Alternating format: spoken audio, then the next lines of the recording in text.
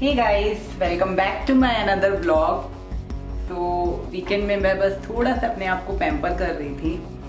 Actually मैं बहुत ज़्यादा मेकअप नहीं करती हूँ। मुझे पसंद नहीं है बहुत ज़्यादा मेकअप करना।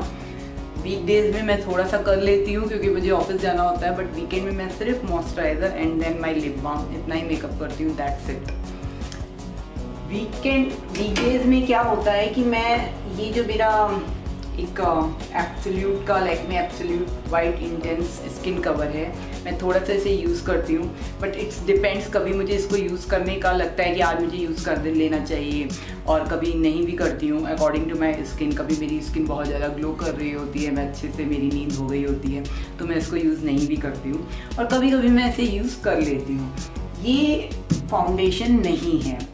ये है Lakme absolute white intense skin cover with S P F twenty five it's not a foundation पहले लेकमे की फाउंडेशन आती थी, आपने देखा होगा। लेकमे की बिल्कुल प्योर बहुत ज़्यादा डार्क फाउंडेशन होती थी। उसमें लोग मॉइस्चराइज़र मिक्स करते थे एंड देन अपने फेस पे अप्लाई करते थे। तो ये वो नहीं है। इसे आप रेगुलर बेसिस पे भी यूज़ कर सकते हैं। मैं आपको कुछ बताऊँगी आज अपने इस वीडियो में। सो so, सबसे पहले अगर आपको मेरा ये video about foundation and BB creams and CC creams अच्छा लगे तो मेरे वीडियो को लाइक करिए मेरे चैनल को सब्सक्राइब करिए और बाकी लोगों को भी शेयर करिए। ये वीडियो स्पेसिफिकली उनके लिए है जो बहुत ज़्यादा मेकअप करना पसंद नहीं करते हैं या फिर जिनको बहुत ज़्यादा प्रोडक्ट्स के बारे में पता नहीं है। मार्केट में आजकल बहुत ज़्यादा प्रोडक्ट्स आ गए हैं तो उनको उसके बारे में नॉलेज चाहिए। तो ये वीडियो स्पेशली हाउस वाइफ्स या फिर जो जैसे जॉब पे जा रहे हैं या फिर टीचिंग वाली जॉब में हैं, जिनको डेली यूज़ में कुछ थोड़ा सा ही मेकअप करना होता है, ज़्यादा नहीं करना होता है। स्पेसिफिक स्पेसिफिकली ये वीडियो उनके लिए है।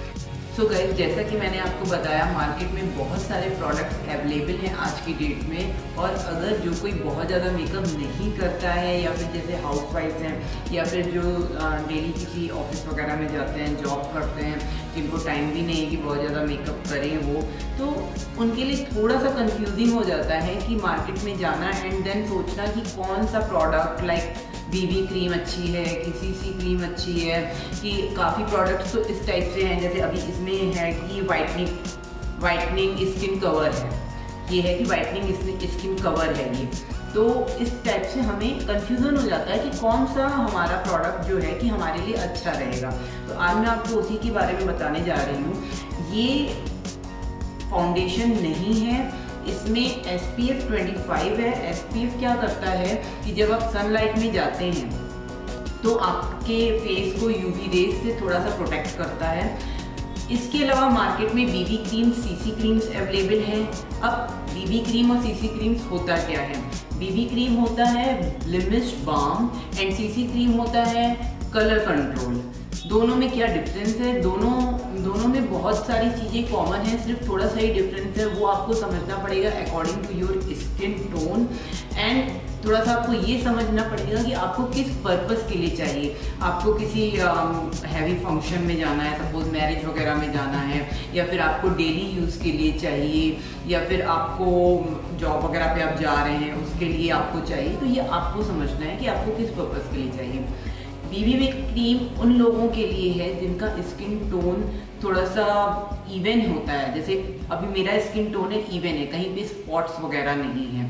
बट कलर कॉम्बिनेशन कलर आपका मतलब इतना अच्छा नहीं होता है तो आप सोचते हैं कि कुछ ऐसा मिल जाए कि जो मेरे स्किन को थोड़ा सा वाइटनिंग टाइप का कर दे। बट बहुत ज़्यादा आपको अपने स्किन को डैमेज नहीं करना है केमिकल यूज़ करके करके तो आपके लिए बीबी क्रीम सही है। इवन बीबी क्रीम लाइक जिनकी स्किन सेंसिटिव होती है, उसके लिए भी बीबी क्रीम बहुत अच्छा होता है। बीबी क्रीम में आपको प्राइमर होता है बीबी क्रीम में मॉइस्चराइज़र होता है एसपीएफ भी होता है बीबी क्रीम में। और कुछ बीबी क्रीम्स ऐसी होती हैं जो एक्ने वगैरह को प्रोटेक्ट करती हैं मतलब उसको थोड़ा सा आपको अच्छा रहता है। आप, अगर आपके एक्ने वगैरह है तो बीबी क्रीम्स लगाना वो अच्छी रहती हैं डेली यूज़ में आप लगाइए। इसके बाद बात आती है सीसी क्रीम की तो ये कलर कंट्रोल क्रीम है। कलर कंट्रोल क्रीम का मतलब जैसे आपके कहीं पे बहुत ज़्यादा स्पॉट्स हैं, दाग धब्बे हैं, भले ही आपका स्किन टोन अच्छा है, लेकिन उसके बाद भी आपकी स्किन इवन नहीं है। आपके डार्क सर्कल्स हैं तो उसके लिए आपको, आपके लिए सही रहेगा कि आप सीसी क्रीम लें। सीसी क्रीम में भी प्राइमर होता है मॉइस्चराइजर होता है एसपीएफ होता है, लेकिन सीसी क्रीम क्या करता है? कवरेज थोड़ा सा ज़्यादा देता है। जैसे जहाँ पे भी आपके दाग धब्बे होंगे, पूरा कवर कर देगा। आप अगर इवनली उसके लगाएँगे तो कवर कर देगा। इसके अलावा बीबी क्रीम का टेक्सचर थोड़ा सा लाइट होता है और सीसी क्रीम का थोड़ा सा हाई टेक्सचर होता है हैवी होता है थोड़ा सा जब आप अपने फेस पे लगाएँगे तो आपको फील होगा, वो थोड़ी सी लाइट फील होगी और सीसी क्रीम थोड़ी सी हैवी फील होगी, आपको लगेगा आपने थोड़ा सा ज़्यादा मेकअप किया हुआ है। बट ये दोनों ही क्रीम्स आप डेली यूज़ में यूज़ कर सकते हैं, कोई प्रॉब्लम नहीं है। इसके अलावा इन दोनों ही क्रीम्स में फाउंडेशन के पार्टिकल्स होते हैं। अगर आपको कोई बोलता है कि नहीं, ये फाउंडेशन नहीं है देन ऑफकोर्स वो फाउंडेशन नहीं है, क्योंकि उसमें सारी चीज़ें मिक्स हैं। आप सिर्फ़ उसको लगा लीजिए। उससे पहले आपको मॉइस्चराइजर नहीं लगाना प्राइमर नहीं लगाना है, अलग से एसपीएफ नहीं लगाना। लेकिन उसमें फाउंडेशन के पार्टिकल्स होते हैं। आज की डेट में मार्केट में जितनी भी क्रीम्स आ रहे हैं, बोल रहे हैं वाइटनिंग वाइटनिंग क्रीम तो व्हाइटनिंग क्रीम बनेगी ऐसे उसमें फाउंडेशन के थोड़े से पार्टिकल्स होते हैं बट वो प्योर फाउंडेशन वो जो हार्ड वाली फाउंडेशन पहले हम लोग यूज़ करते थे। हम देखते थे, हमारी मम्मी लोग यूज़ करती थी, उसमें मॉइस्चराइजर मिक्स करती थी देन अप्लाई करती थी। वो नहीं होता है बट यहाँ उसमें भी कुछ फाउंडेशन के पार्टिकल्स होते हैं। उसके साथ उसमें कुछ अलग चीज़ें भी होती हैं लाइक वो लोग मॉइस्चराइजर डाल देते हैं एसपीएफ डाल देते हैं। तो उससे आपकी स्किन को बहुत ज़्यादा प्रॉब्लम हार्मफुल नहीं होता है। अब जैसे मैंने आपको बताया कि ये है मेरा एप्सोल्यूट का लैक्मे एप्सोल्यूट का वाइटमिन इंटेंस स्किन कवर इसमें आपको कुछ चीज़ें ऐसी मिलेंगी कभी कभी इसमें शायद एक प्रोडक्ट ऐसा भी होता है जिसमें एलोवेरा मिक्स है। लैक्मे की कुछ क्रीम्स ऐसी हैं जिसमें एलोवेरा भी मिक्स मिल जाता है। तो वो भी, उसमें भी फाउंडेशन होते हैं बट थोड़ी सी कम होती है बट एलोवेरा भी मिक्स कर देते हैं। तो इस तरीके से आपको खुद समझना है कि आपकी स्किन टोन के लिए कौन सी चीज़ फिट बैठेगी। अभी मैं इसको यूज़ करके आपको दिखाऊँगी। अभी आप देख सकते हैं कि मेरा स्किन टोन किस टाइप का दिख रहा है, और इसको यूज़ करने के बाद मेरा स्किन किस टाइप से दिखेगा। ये बहुत ही आसानी से ब्लेंड हो जाती है स्किन में। प्लस आपको फील नहीं आएगा कि हाँ मैंने कोई मेकअप किया भी है। तो अभी मैं इसको आपको लगा के दिखाती हूँ। इसके साथ ही इसकी जो ये ट्यूब है, ये बहुत ही अच्छी इन लोगों ने ऐसी पैकिंग दी हुई है। तो दैट कि क्या होता है कि अगर आप इसको जितना भी निकालना चाहें, अगर आप इसको थोड़ा सा निकालना चाह रहे हैं, आपको आज थोड़ा, लग रहा है कि बस थोड़ा सा ही लगाना है मुझे तो उस टाइप से भी ये अच्छी होती है। अभी मैं दिखा रही हूँ कि मैं बहुत ही थोड़ा सा लेती हूँ इसको। और ये मेरे स्किन पे बहुत ही अच्छे से ब्लेंड हो जाएगी।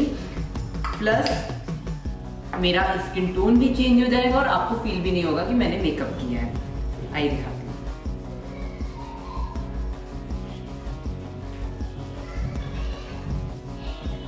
इस तरीके से आप अपने नेक पे भी अप्लाई कर सकते हैं।